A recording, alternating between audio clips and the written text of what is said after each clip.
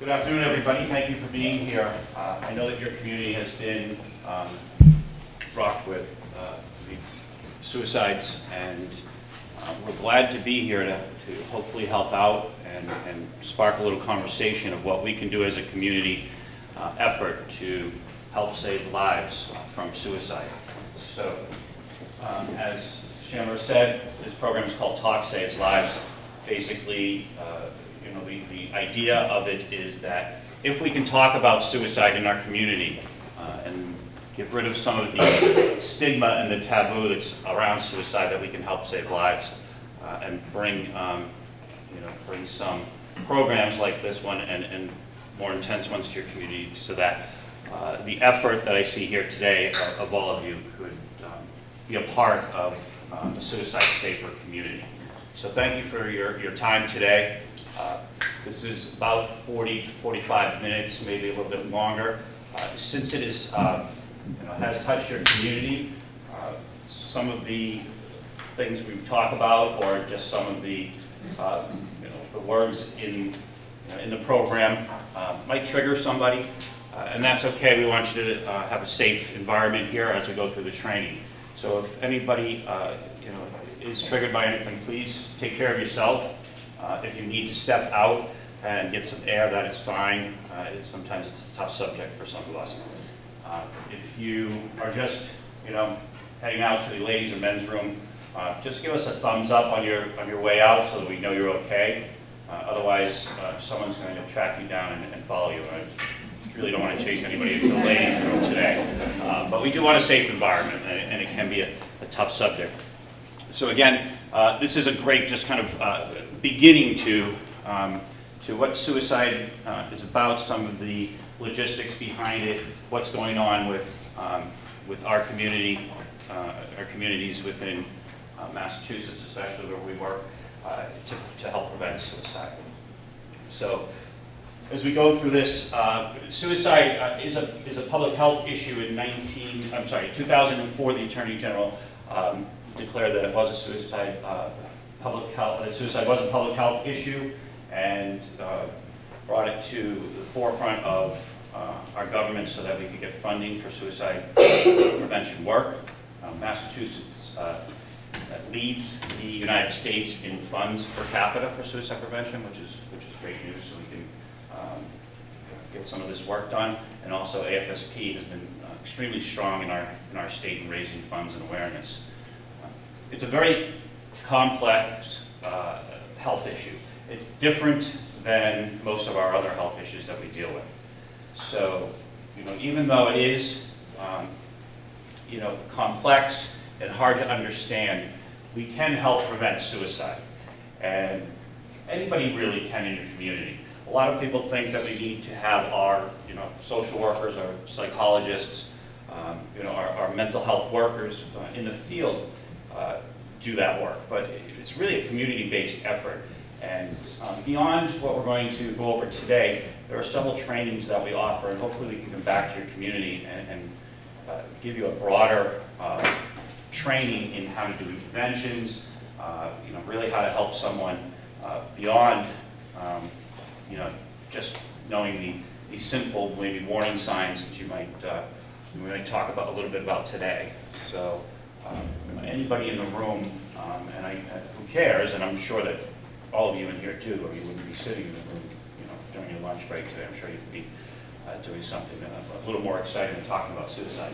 Uh, But anybody really, you know, can help prevent suicide, and uh, I'm glad that, you know, this is a good start. We have, we have many, many people in the room. So we're going to go over some statistics briefly. I won't bog you down with them. We'll go over some worldwide statistics, some, uh, you know, in our area, um, well, in the United States and and in our, in our state of Massachusetts. Um, As we go through some of them, if there's any questions, feel free to ask. Um, It it makes for a better hour if people are engaged and have questions, so I'm not going to make, you know, you wait to the end for questions. If you have something, raise your hand and and we'll- we can address it as we go. Uh, Then we'll talk a little bit about the research. Um, There's some cutting edge research that's being done as far as um, uh, medically with, with studying the brain um, and other, uh, you know, other medical um, ways to see how someone is at risk. Uh, And also just the research that has been done over probably the last 30 years when um, started in the United States really keeping track of, of suicide numbers and um, what is, you know, or what can be some of the causes of, of suicide.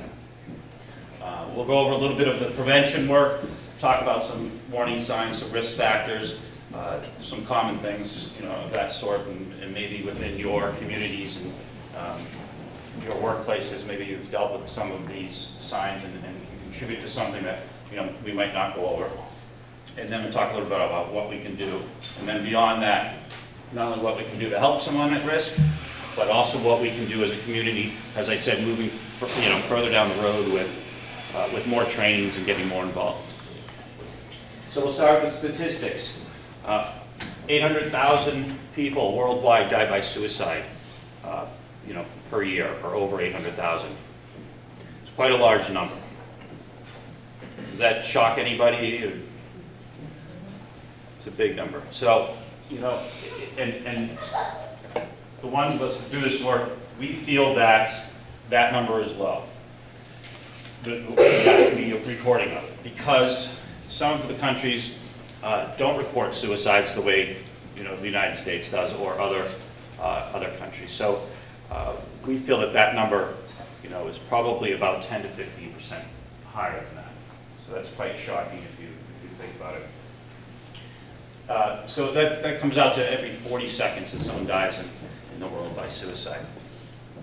In the United States, it's the 10th leading cause of death. As you can see that number there, over 42,000 people died in the United States in 2014. That's the last year that we have the statistics for. It takes a while for us to gather uh, all those numbers. So, um, you know, it- just for perspective, since we're outside of Boston, that would more than fill Fenway Park's capacity. That's a lot of people that died by suicide in our country. Uh, And again, um, we feel that that number or that statistic is low uh, for, for a couple of reasons. One, as I said before, some of the reporting that, that is done isn't accurate. Um, And, and sometimes we feel that uh, a suicide is not reported as a suicide, but might be reported as something else. Any ideas of what that might be? A couple of things might be reported as overdoses. So we really have an epidemic in, in our, especially in our area, but in our country on, on heroin and other opiate addiction. And we've lost a lot of people, uh, you know, to overdose over the past couple of years. So we feel that, um, you know, there could be a, a large part of those numbers that are intentional overdoses. And without clear intent, it won't be ruled as a, as a suicide. So there has to be clear intent before the coroner can, can mark it as a suicide rather than uh, an accidental um, death, which, which an overdose would be, would be um, notated as. Any other reason, any other kind of deaths that might not show up as a suicide but could be a suicide? An accident. I'm sorry? An accident. An accident. So there's a term, I really don't like the term, but it's called autocide. So it's, you know, a, a single um, car crash, uh, a single person car crash where it was high speed involved, uh, no brake marks, skid marks um, into a tree or a bridge abutment or something of that sort. So sometimes those are just ruled as accident. Again, there needs to be intent. And to show intent, there has to be some sort of um, clear um, delivery that the person uh, who died uh, left behind. Uh, And and not too many people that, you know, not a large percentage, I should say, of people that die by suicide actually leave a note. It's about 30%. So you have 70% that um, die by suicide that don't leave a note. So that, those single car crashes or the overdoses, a lot of times there is, there is no clear intent involved. And then, you know, there's also several other, you know, um, accidents that are possible. The other one that comes to mind uh, is drowning. Um, We we know that people take their life by drowning um, who have made it clear, and, and, you know, there was clear intent involved. Uh, But sometimes there's drownings with, and there's a bit of mystery to them, um, and that could also be a uh, a suicide involved. So for every suicide, there's 25 attempts, and that's United States, we're, we're staying with statistics from the United States. So uh, in our communities, it's 25 to 1. That would bring us somewhere around, um, or close to a- million um, suicide attempts a year. And again, we feel that number is low because that's just recorded attempts. You know, that's the ones that, you know, get recorded in the emergency rooms uh, or by police or another first responder. So it's a- another figure that we, we feel isn't, um, you know, could be, you know, 10 to 15% higher than, than what it shows. So each suicide leaves behind an average of 115 people. So that's a tough number to, you know, pinpoint, but that's the number they've come up with. It used to be a lot lower, but as we've done more research and, you know, opened up the conversation around suicide in the community, uh, that number rose quite a bit. Uh, Just think about where you work or your town here. Um, If someone dies by suicide, how many people might be affected? Start with the, you know, the school system, or, um, you know, the- the workers in the school system, the, um, the community itself, maybe the faith-based community had a part of it, uh, and- and then, you know, friends and family. So it has quite an impact on a community uh, when someone dies by suicide, as, as probably many of, of you in here know. And then there's the economic part of it. They said $44 billion is lost uh, a year to, to suicide um, in our economy due to um, mostly lost wages and, and lack of production for them, you know, from those who have, who have passed. So before I jump into the research, just a couple other statistics uh, that we'll, we'll touch on a little bit when we do some prevention talk, but uh, just because it, it kind of, when we're talking about saving lives in the community, it's, it's knowing who would be at risk, um, or, or the numbers of people that might be at higher risk. So, you know, across the board in the United States, uh, men die by suicide four times the rate, or almost four times the rate of women.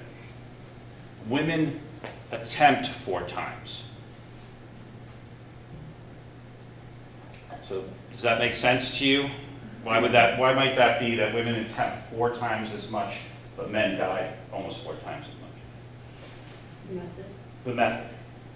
So men tend to use more a lethal me- method, um, usually firearms or hanging, where uh, a lot of our uh, women that attempt suicide uh, are by poisoning uh, pills or poisons that you know are around our house, our household, and uh, have you know left, uh, less of a, a lethal um, you know consequence to them. And what other reason might, if, if that's the case, what might happen to a woman that might not happen to a man in our society when they have an attempt? Emotions about children. What's that? Emotions about their family and children. Okay, emotions about their family. Are you saying we're not emotion, we don't have emotions about our family? Not at all. They more likely to get help. More likely to get help. It's just the way we're built in our society. You know, women will ask for help uh, much more, you know, often than men will. And we're, we're trying to change that. As a male, I, I see it all the time, whether it's friends or family or coworkers. When somebody's struggling, um, you know, they have a tough time reaching out. So um, hopefully in our, in our society uh, these days, that's, that's changing a little bit. And I see it gradually changing, but, you know, men put up that, that shield and that kind of bravado and not asking for help as, as much. Have you seen any increase over the years, change in women uh, in terms of more lethal with veterans, women veterans, and using a method more lethal um, in So- recent years? So the research over the years has, has kind of stayed steady as far as the means that, the difference between men and women, the means they use. I do do work with the, with the veterans as, as well as the um, active uh, military. And the deaths that we have seen in the military are more lethal than you would see outside the military. Most of the times it is a firearm. So we, we have seen an increase um, specifically with veterans and military and, and- and the means that they use, um, whether it's male or female. Uh, Any other questions on statistics? So Massachusetts um, is usually 46, 47, or 48, somewhere around there every year um, in, in the number of suicides, um, which is great that we're on the lower scale. But we still in Massachusetts had over 580 deaths by suicide in 2014. And that's, and that's, we're one of the lowest. So our, our highest pockets of the United States uh, for suicide are the mountain states. So Colorado, Utah, Montana, uh, th- that area. Any, any ideas maybe why that would be? Isolation is definitely one of them. Available help? Available help? A- Available help, lack of, Yeah. maybe lack of available help, absolutely. Oh, they probably have a lot more firearms. and a lot more firearms. We definitely uh, look at it, the research over the years, and that's, that's definitely the pocket of, of, you know, area of the United States as well, where the firearms are up around seventy percent of, um, of the suicides that are. When you're ranking states, do you do it by population? Is it adjusted by population, or are you looking strictly at the numbers? No, it is just at per, per one hundred thousand. I don't have the number for, for Mass off the top of my head for, per one hundred thousand, but it is done by, Population. by population. I'm just curious if uh, there tends to be racial or class trends with suicides, or not really, it's across the board, or? Okay, so in the, in the United States, everybody hear the question? Wondering about racial um, trends. In the United States, um, the highest number, again, not in total numbers, but per population, uh, is, is white, middle-aged men right now, is the highest numbers of, of deaths by suicide. It was um, what they considered older, old, old white men, going back about six, seven years ago, maybe a little bit longer, which was 70 and older, were the highest rates of, of suicide in the United States. Um, and and uh, now it's middle-aged men is, is the highest rates. As far as race, um, the behind um, white males in the United States is um, Native Americans, uh, an extremely high rate of suicide. So there isn't, um, there isn't much change in any of the rates of, of race, um, but there are um, some pretty steady numbers over the years that, um, you know, that, that have held true, which is, you know, the white, um, white males per 100,000 are the highest, and then the Native Americans. Any other questions on statistics? Okay, so let's talk a little bit about research. Okay, that worked. So, we do research because we want to know why people take their lives. As I said earlier, suicide's very complex. There isn't usually one reason why somebody would take their life. So, when we talk about suicide, we talk about precipitating factors. Many things that go on in a person's life to bring them to that point where they would consider suicide as an option. We hear a lot of times when someone dies by suicide that, you know, maybe they went through a, a tough divorce or they lost their job and therefore they lost, you know, um, maybe, you know, their house or, or their car, or the financial means to do things. Um, and, and, and we kind of try to pinpoint that because we want answers. We want to know why someone dies by suicide. But it's always, or I should say most of the time, much more complex than that. And if you look into it over the years of the research that we've done, we see that there are many precipitating factors um, that contributed to, to one's suicide. And that's usually not just a single action or, or a single life event. We had um, a case in Western Mass many years back where the, a young lady unfortunately took her, her life um, after being bullied. I don't know how many of you remember that. And, and bullying campaigns came out in all the schools, which I think is great. The thing in our world, though, we didn't want bullying tied to suicide because bullying wasn't the only factor in that young woman's life that, you know, drove her to take her own life. There were many things after it was investigated that had happened prior to that. A suicide attempt had already happened before the bullying. Um, you know, there was separation anxiety from family that lived in another country. Uh, there were mental health issues that were already um, being addressed. Medication that was helping and then wasn't being taken anymore. So there were a lot of different reasons for, for that person's um, suicide. And we try to pinpoint one thing because we want an answer, but it's usually much, much more complex than that. So this statistic is held true over quite some time now, that nine out of 10 people that die by suicide did have a mental health condition. So when we talk about that, you say, well, how did, how did we know that? Um, If, if the statistics aren't exact, how are we, how are we sticking to that nine out of 10? That's 90% of people die by suicide had a mental health condition. It is, uh, and, and sometimes it's di, it's gone di, undiagnosed, which we, again, we say, well, how do you keep track of those statistics? Um, We know that from people who have attempted suicide, that that number holds true as well. That 90% of them have had a mental health condition, or they've already been uh, or are diagnosed uh, after their attempt of, of having one. So it's, it's not perfect science when they say nine out of 10, but it's a, a, number that we can keep track of and realize that if nine out of 10 people that are dying by suicide have a mental health condition, that we need to do something better in our society to handle mental health. And it's something that we've swept under the carpet for a long time in our country.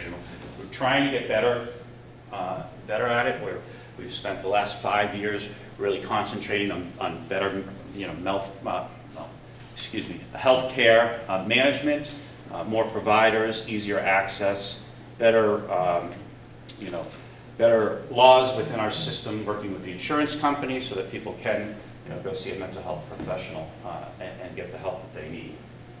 Examples of mental health problems that are related to suicide? that are related to suicide, sure, we're going to touch on that, but I'll, uh, in a few. But, so depression is one of the most common that we see in suicide as a mental health issue. Anxiety, um, drug and alcohol disorders, um, bipolar, schizophrenia. Those are probably the, the four or five most prevalent mental health conditions that someone would have that dies by suicide.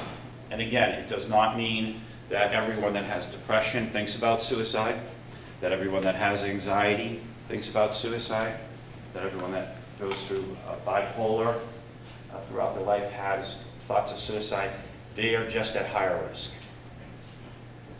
So I just want to make that clear because it, you know, people can struggle with depression, you know, at one time. They can have major depression throughout their life. They can go in and out of depression throughout their life. It doesn't mean that they're thinking about suicide. It does mean that they're at higher risk, though.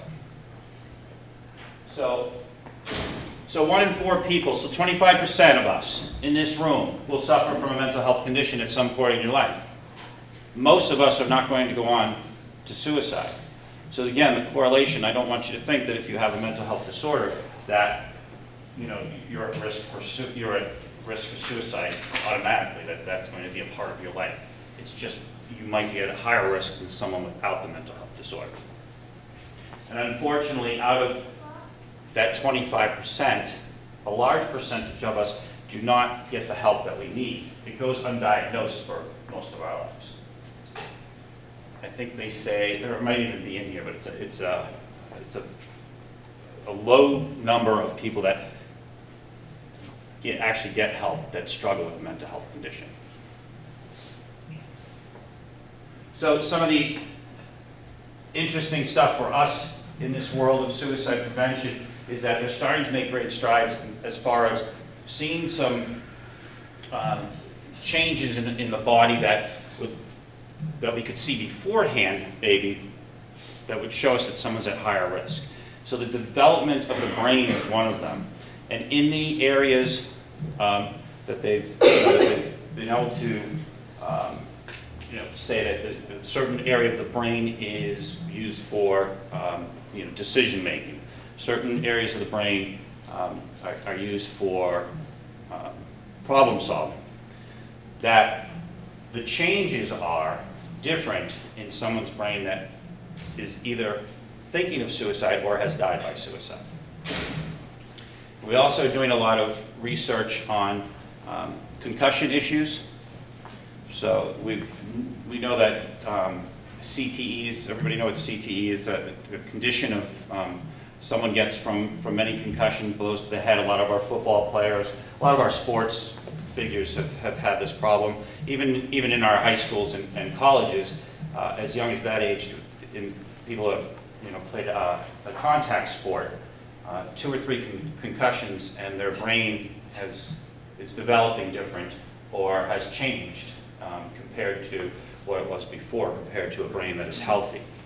So we have lost some of our uh, famous athletes to suicide because they were, you know, not because they were diagnosed with CT, but they were diagnosed with CT, and that was, you know, uh, one of the contributing factors to their suicide. So most people who die by suicide are ambivalent. Can somebody give me a definition of of ambivalent? Or take a stab at it? It's, it's a word that a lot of us don't use. Don't care, Okay, Unemotional? okay. Of two minds. Two minds? That's a good way to put it. I like that. I haven't heard that before. Two minds. So really, ambivalence is, when we're talking with, with suicide, ambivalence is two minds, and I like that. I'm gonna, you mind if I steal that? All right. So what it is, is someone who's struggling with suicide is ambivalent about whether they really want to die. There's a part of them that wants to live, but there's a part of them that really wants to die, that wants to end that pain that they're dealing with in their head. I'll tell you a quick story, because I know we're on a short time here, but what, a colleague of ours, uh, his name is Kevin Hines. Has anybody heard about Kevin Hines? Kevin Hines is one of the few persons that has jumped off the Golden Gate Bridge to die by suicide and, and lived through it. So he talks about his ambivalence, right up to the point of his suicide attempt. Right up to his suicide attempt, Kevin talks about his ambivalence. He was an 18-year-old kid who took a bus, a long bus ride, all the way to the bridge uh, from his house, and was crying the entire way there. And he said to himself, if one person asks, uh, what's wrong with me, I'll tell them my whole story and I'll ask them to help me. He'd been struggling with bipolar and, and suicide ideation for years, and no one ever came out and asked him. They got him help for his bipolar, but no one ever came out and asked him, are you thinking about suicide? So he said if someone stopped him, he would, he would tell them everything. So he was on the bus and he was visibly crying. The bus was full. The last stop was the Golden Gate Bridge. And no one asked him what was wrong with him. No one said a word to him. He walked up to the edge of the bridge, right on the edge, ready to jump. And he still had in his mind, if one person asks me what's wrong, you know, I'll tell him everything. A lady came up to him and said, excuse me, and as he turned, she said, will you take my picture? He's visibly crying. He took his picture, as he says, he took, you know, her, her picture, a couple snapshots. He said he wanted to do a nice thing before he died. Handed her camera back and said, see, nobody cares. And jumped off the bridge. He survived, and he tells his story, and he tells it a lot better than I do, and I like, I like when he, when he tells it. If you look up Kevin Hines, you can get snippets of it, or maybe his whole story um, on YouTube or one of the other um, outlets. Uh, But the importance of his story is that ambivalence. Up to the time, the immediate time of his death, he had that ambivalence. And this is how we know we can save lives. Because most people that have had a suicide attempt and, and lived through it tell us that they've had that ambivalence. They didn't really want to die. They just wanted to stop the pain. So that's how we know we can save lives. If we can recognize the signs, if we can recognize the symptoms, and know some of the risk factors, and know some of the statistics that put somebody at greater risk, we might be able to help. So, the perspective, the, the crisis point that someone reaches, and as I already said, the, the pain becomes so unbearable in someone's mind that they just want it to stop. They want that pain to end. So their option for that pain to end becomes suicide, it becomes one of their options. And when we talk to people who are suicidal, most of them say, I don't want to die, I just want that pain to stop. And when it gets to that point, th- their thinking might become irrational. And that's when they might be, take that impulsive act of making a suicide attempt. So think of, you know, something that was very painful in your life.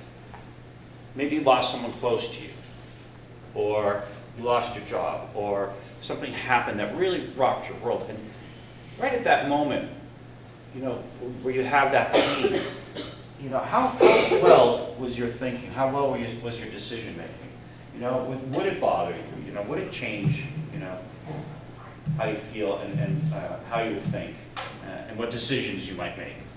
Or if somebody asked you for a simple direction somewhere or some advice, would you be, would you be clear enough to, you know, to, to give them that when you're underneath that, that much pain? So that's where suicide, um, you know, becomes an option when they're with, you know, having that much pain. So the goals of research um, that they're doing, the, the biomarkers, so uh, they're doing testing now on blood uh, as well, that uh, there, there's been not enough evidence yet, but several suggestions that a certain um, genetic factor in, in the blood will also show that someone is at higher risk for suicide.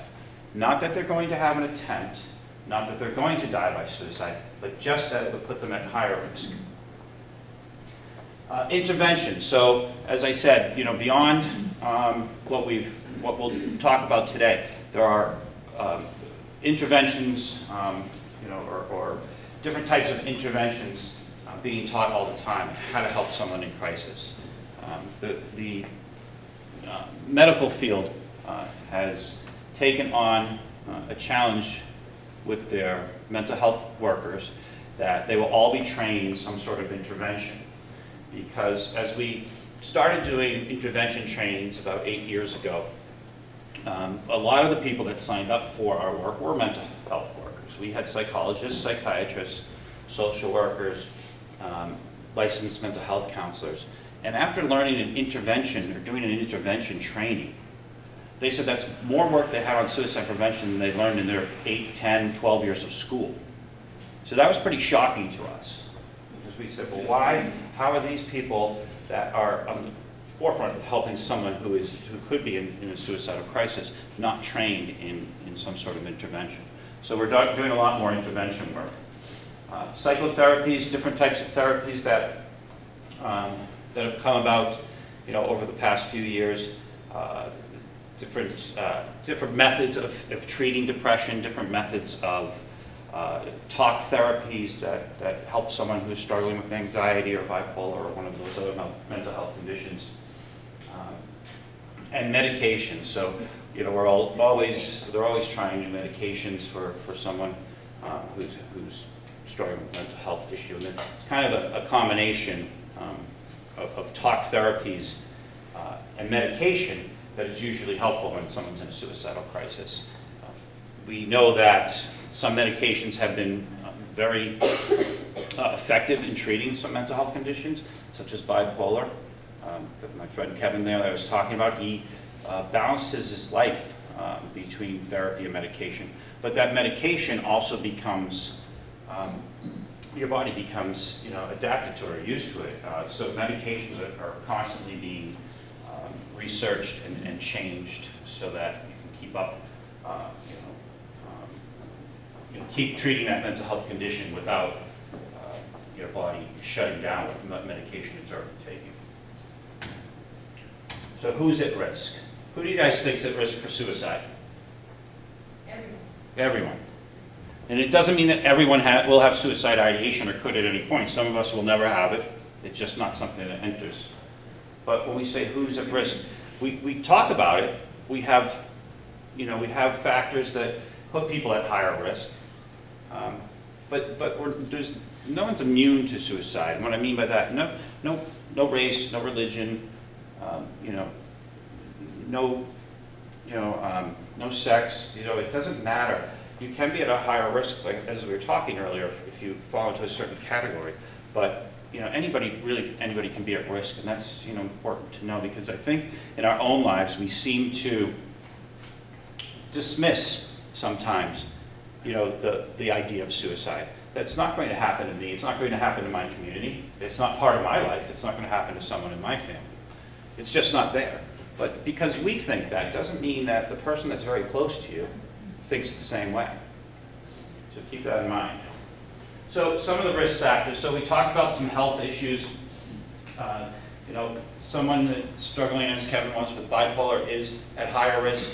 Um, You know, the other, the other risk factors we mentioned, the depression, anxiety. So, you know, as we do prevention work, you know, we want to know the people around us, whether it's a student in our classroom, whether it's our, our friend or our family, uh, or a family member, or our our coworker. You know, if, if you know that, you know, they're, they're struggling with some sort of mental health condition, that, that they're at higher risk. Also with health, it could be uh, a physical ailment or a, a terminal illness that, that might have someone uh, thinking about suicide. Um, So then there's some historical factors which we'll, we'll go through and, and some environmental as well. So we talked about most of these, these are the, when you asked your question, these are the most um, prevalent ones we see with suicide. Again, it doesn't mean that everyone that has one of these conditions is going to have thoughts of suicide, it just means over the years of research that they are at higher risk. So other health factors, chronic uh, health conditions, serious or chronic pain. Now, when we think of serious chronic pain, we think of maybe someone that's had back problems for a long time in their life, and they're always in pain through the back. Or they have a shoulder condition, and they're always in pain. You know, your brain can have the same kind of pain that, you know, that can make, uh, make you not be able to perform and not be able to uh, go through your daily activities just as much as a, a physical pain. They say that someone that suffers from major depression uh, disorder that is as uh, debilitating as someone that is paraplegic. It can cause you not to be able to physically get yourself up out of bed, get yourself up out of your house to get through your normal daily activities. And we talked, you know, about the, the, the um, head injuries a little bit. Environmental factors that might put somebody more at risk, the means. Um, as I said, in, in um, you know, it's, it's, sometimes it's hard to, you know, restrict means when we talk about, um, you know, prevention, but as long as we know and we're aware of, uh, you know, what those means could, you know, might be. Uh, in Massachusetts, our, uh, we have very low number of suicide, suicides by firearm uh, because we have very strict gun laws. So the access to that means is less here than in other countries, uh, other states. In Massachusetts, the, the number one method of dying by suicide is hanging. That's a tough one to, you know, to remove or say, part of our prevention work, we're going to uh, make the access to the means um, less available, which y- y- with, with hanging, it's really hard. One of the, the, the second one though, which is, um, the second method in Massachusetts when people die by suicide is poisoning, which includes um, overdose, pill taking. And that's something we can control in our households. Um, we have, um, you know, a lot of people just have medication lying around their house. They've had an ailment, they didn't finish it, uh, or, you know, it was something for, uh, you know, a, a, accident you had and you had some pain, so they gave you pain medication. It's, you know, you didn't need it after the first few days and it's lying around the house. So that's something just to be aware of, the access of, of the means of, of medication. Um, I was working with some, some kids a few months ago and they were telling me, and this is, wasn't about suicide, but just to bring up the, the access to, to pills and medication in their house. Uh, they were telling me that they have what they call Skittles parties. Has anybody heard of that? So they just take a bunch of pills or they stockpile pills from their, their, their house and then they show up at, you know, on the weekend at, at, you know, one of their friend's house and they just dump all these pills into a bowl. And they take handfuls at a time just to see what effect they're going to get, how high they can get off of a handful of pills. That's a scary thought. But that's how easy it is for these kids to have access to a means of suicide, if they have a, you know, the access and means to have those pills to take to a party. Um, so exposure, uh, another environmental factor, exposure to suicide puts you at higher risk. Uh, if someone uh, close to you has died by suicide, statistically, you're at higher risk. Um, Contagion um, is a word that we use in suicide prevention. It is not the, uh, people get confused with contagious. Suicide is not contagious, although we did have a mother last week, um, or last month, that said uh, that she would not let her daughter play with the neighbor's daughter anymore because the older brother took his life, and that she didn't want her daughter to catch whatever bad, you know, thing they had going on in their house. It's horrible. I mean, that's how bad it can be out there, just talking about suicide. Um, contagion, though, is, uh, I'll give you an example of contagion. When I first started doing this, I was working down the Cape, and in Sandwich High School, they had a death of one of their star athletes, um, uh, senior, uh, you know, had everything going for him, took his life. On the six-month anniversary, a close friend took their life. And then on the year anniversary, another one within the school system took their life. That's a contagion. It, it, it follows a pattern of someone knowing, you know, another person that, you know, had died by suicide. Uh, and then obviously stressful life events are definitely a, a environmental factor that would increase your, uh, your risk of suicide. So historical factor, family history of suicide. Again, if someone who's close to you has died by suicide, you are at higher risk. Uh, mental health conditions, we know that some of them are genetic and are passed on by generation or skip generations. Um, so that's something to watch out for. Childhood abuse or any abuse. It doesn't just have to be childhood abuse. I think there's abuse that could start at any point of your life um, that can be traumatic enough that could be uh, one of the risk factors for suicide. Uh, and a pre previous suicide attempt. Most people who have a suicide attempt and live through it are, do not die by suicide. Do not take another attempt on their life. But the statistics still show that if you've had a suicide attempt, you are at higher risk. So, what others know? So, again, I'll go back to where we were talking, what I said earlier about if someone dies by suicide, it, what do we know? We usually don't know much, right? Like I said, we, we might think that there was that one incident in their life that we can pinpoint, or we try to pinpoint and say that was the reason they died by suicide. But that's us on the outside. That's not what we really know. It's, it's all the other stuff that's behind the scene that you know, we want to take a look at when we do the research.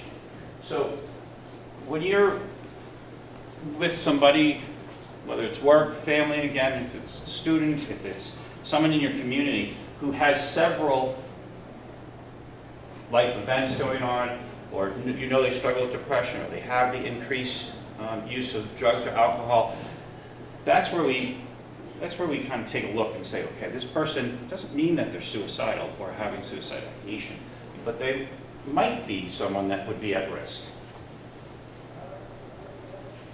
So that takes us into the prevention. When we feel that we have that, that person in our life, or someone we know, or someone comes to us, but someone that they know is struggling, that it's all, it's all adding up to the, the possibility that suicide might be a part of their life.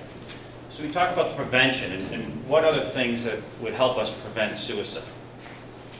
So we have some protective factors. Obviously, we talked a little bit about the mental health care um, situation. As I said, it is getting better uh, in our society.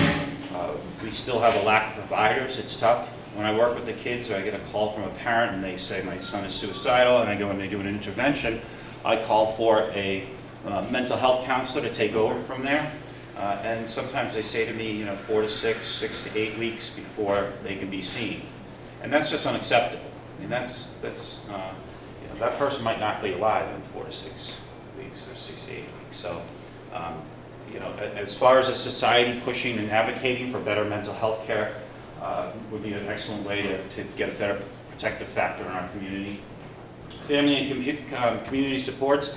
Obviously, family support is important. Uh, I think we all know that. Uh, community uh, support. So we have someone introduced themselves to me earlier as a, as a pastor.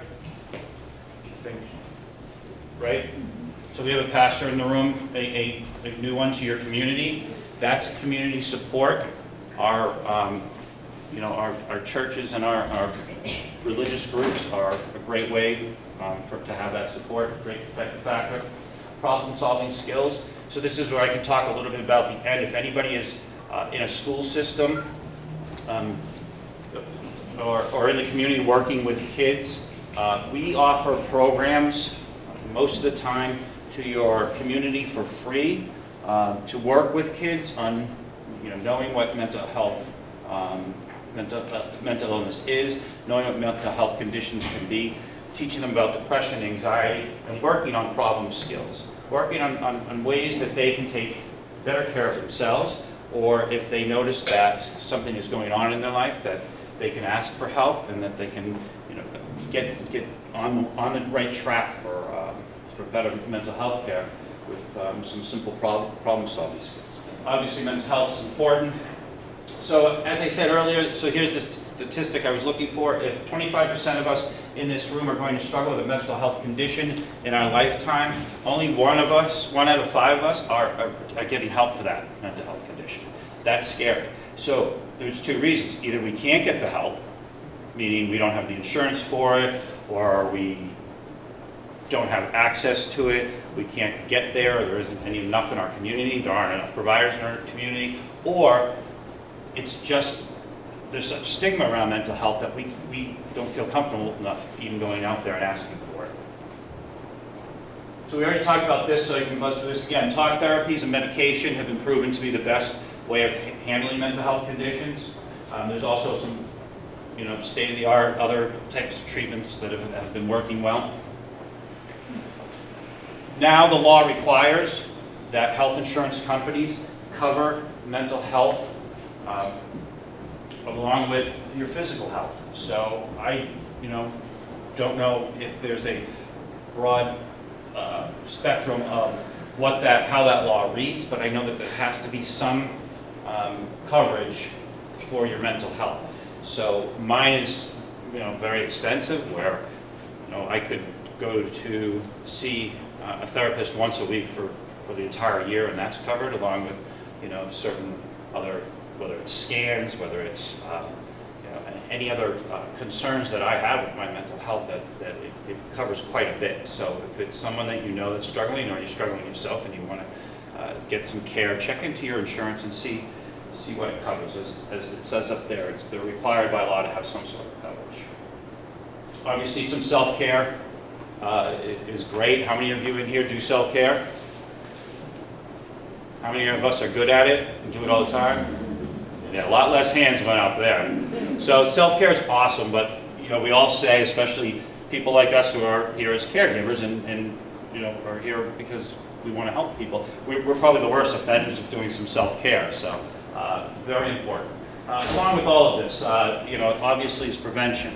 Um, so if, if someone is struggling with, with any of, uh, any of those issues, you know, starting with these four basic things uh, are very helpful uh, in, in prevention. Limiting access to the means, we touched on a little bit. It's, it's tough sometimes, um, you know, depending on what the, what the means might be. But again, something simple that might be in your own household, as I said with the pills, would be limiting the access to, to someone around you. Here's some other things, the CO sensors in the, in the cars, they're trying to come up with a law that would require every car maker to have the CO sensor in there. So if someone tried to take their life by asphyxiation, that that would kick the car automatically off when it reached a certain level. I think it's a great idea. The blistering packaging for medication, people say, well, what would that do? So they'll just take 20 minutes and they'll pop them all out. Suicide ideation can come and go that quick. So if it's tough to get those 50 pills out of blistering packages, in that time, it might prevent a suicide. Because you can have suicide ideation and five minutes later it could be gone. Not the case all the time, but one hour it could be gone. So any, any restriction of a means uh, can be helpful. Barriers on the bridges, as I said, I'm down in Plymouth, I go over to the Cape all the time. We put those barriers up 30-something years ago when people were dying by suicide off of those two bridges. Um, the one that Kevin jumped off of, the Golden Gate Bridge, number one bridge in our country where people die by suicide. They spent the last 15 years fighting the government there to put up, well, not the government, but you know the historical society, putting up barriers because it wasn't aesthetically pleasing. Okay, so it doesn't look good, but we'd rather have people die. I mean, it just didn't make sense. They finally got it passed last year, they're putting safety nets around there, so that's good news. And obviously, those of you who might have a firearm in your house, uh, you know, to have safety around your firearm, whether it's, you know, a gun lock, clip, or, you know, a safe. Um, Another, another thing, prevention is, since we're at higher risk if we've lost someone to suicide, is to have uh, support for those people who have lost one to suicide. So, other things, watch, watch out for the warning signs. We're not going to go through a whole, a bunch of warning signs, we'll go through them quick, quickly, reach out, seek help. Um, So warning signs, there's usually three factors. It's, you know, talk, behavior, and mood that changes in someone's life. That would be a warning sign. So talk, you might hear some of these things. Uh, Sometimes someone comes to me and they're, they're so direct. They say, I'm thinking of killing myself. And I say, wonderful. And the reason I say wonderful is because you came to me, not to them. I don't say wonderful, but in my head, I'm like, wonderful, because that person actually could say it, come out and say. But it's usually not that obvious. You might hear something that's a little uh, less direct, but it doesn't mean that it's just as serious as a warning sign. Behavior, so here's a bunch of different behaviors. So just remember that these are just a small snippet of uh, talk you might hear and behaviors and mood changes that you might see. And when we do our other trainings, we go more uh, in depth into other warning signs, other uh, risk factors. People look at something like giving away possessions. What does that have to do with suicide? When I was first working on the Cape again, a, a young man, about 15 years old, walked into a party, handed out to his friends all his Xbox games, all his PS4 games, whatever they call them, and his CDs. And the, his friends were like, whoa, that's kind of weird. cool, I got a new game. Walked out of the party, two hours later, took his own life. A small little warning sign that if even kids were taught some of these things, would trigger them to possibly get help for, for that person. So mood, all these different, you know, again, in, in with somebody's mood, it's the change. If you took every high school kid, um, you know, and, and, you know, and threw out these moods, you'd, you'd see a bunch of them, you know, it's, it's, um, you know, it's not uncommon, uh, you know, for, for them to have mood swings. It's, it's when it's different. It's when you feel that it's a little more intense than it was, or that the mood changes on a regular basis. I had three daughters, they were all in high school at the same time. You know, that was moody in the house. There's no more mood than you can get in that house. But thank God of them were suicidal, but at least, you know, if you know that the possibility of those mood changes could mean that they're at risk, we, we pay a little more attention to them. Trust your gut. So, again, just as it says there, assume that all that's going on. You might be the only person that can reach out. And some of us in this room will never be, will never be able to walk up to somebody and say, are you thinking about suicide? That's okay. But if you know the risk factors and warning signs and know who nearby you or in your school system or in your community could ask that question, that's just as important, even if you can't be the one. So again, just talking about it saves lives. Reaching out to someone. So if you think someone is suicidal, I'll, I'll, I'll jump down to the fourth thing there. If you think someone is suicidal, we want to be able to ask them, we want to ask them directly. We want to say, are you thinking of killing yourself? Are you thinking of suicide? And you say, well, why would I want to say that? Well, one, the research over years and years and years has proven that asking the question does not put it in their mind if they haven't thought about it. So we want to ask that question. If you feel someone's at risk so much that suicide's a possibility, we want to ask it. And let me tell you something. After you ask that question, if someone is thinking about suicide, they are so relieved you asked them. It is the opposite reaction of what you think you would get. The Shoulders drop. The kids say to me, how did you know? You know, like they're relieved. And, and after they, you've opened up that door, you've used the word suicide, and that's been bottled up in their head for a long time with all that other stuff. And once you've said that word, you've opened that door and given them permission to talk about it. And again, it comes back to talk saves lives. If they feel they can talk about it, that's the first step in, in getting help for it. Um, again, everything, everything there is it, it be obvious, but listen to their story. In a suicidal crisis, after someone has said yes to suicide, they want to tell you everything. the first thing is the relief, the second thing is they usually nonstop talk, because like I said, you just gave them permission to talk about it. So listen, try not to fix anything, just let them talk and, and get it all out. We as caregivers want to fix things, it's our nature. You know, my, my, they come to you and they say, well, my boyfriend broke up with me. Oh, well, you know, you'll meet another guy down the road. That's not what they want to hear. It's not that simple when you're having suicide ideation. To them, that is, you know, that is devastating. That might be one of the 10 things going on in their life that's leading to have thoughts of suicide. So talking, and uh, letting them talk and just listening, uh, you know, is great. And sometimes when you first ask somebody about suicide, they might uh, not say anything. They might be quiet. and You have that uncomfortable, um, you know, that uncomfortable silence. And that's okay too. Uh, sometimes you've given the permission for somebody to talk about suicide, but it's taking them a while to go, wow, this is, I mean, I really can talk about these things, and it's, all that stuff is turning in their head, and they're trying to gather the thoughts of what they want to say. So sometimes silence is okay. The way I always remember that is that um, silent and listen have the same letters. So even even if you're silent, you're listening. Um, Again, obviously avoid minimizing feelings. A lot of people say to someone that's thinking about suicide, "Oh, how could you do that? Well, You're not going to do that, are you? You know, automatically putting that negative connotation on it. Um, Avoid trying to, to say that life is, is worth living. That's the last thing they want to hear. Again, they don't want to be pushed and told what to do. And, and some of the attempt survivors that I, I've dealt with say that suicide ideation to them is a protective factor because it's an option for them. They've learned how to go out there and reach out for help, but they have an option. So trying to take that option away from them, they said made them mad when someone said, you can't do that, you, you know that, how could you think that? And put that negative uh, spin on it wasn't good for them. They wanted that. Just, you know, let's put that over here and let's see what other options we have is a better way to, to talk about it. And again, not trying to fix anything. So if you think somebody's at risk and they're at, at risk soon, simple things here, you know, don't leave them alone. Another case, when I first walked on the, was working on the Cape, a, a teacher did the right thing by asking a kid if they were thinking about suicide. The, the, the student said yes. This was in her classroom. She walked out to go to the office to get help, left the kid there. He went out the back door and later that afternoon took his life. So if anybody is ever thinking about suicide or has said to you they're thinking about suicide, stay with them. Get them to someone, get them the help.